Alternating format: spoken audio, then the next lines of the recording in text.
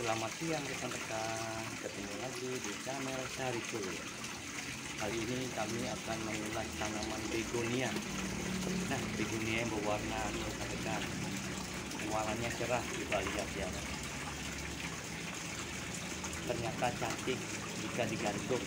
Nah, coba penampakannya kan sosoknya begini. Nah, kita putar. Wow, sangat mudah kan pertumbuhannya. Sangat rimbun kreasi yang cantik selain ditanam di pot ditaruh di tanah ternyata berkesan. Menawan untuk digantung wow coba kita nampak sosoknya rekan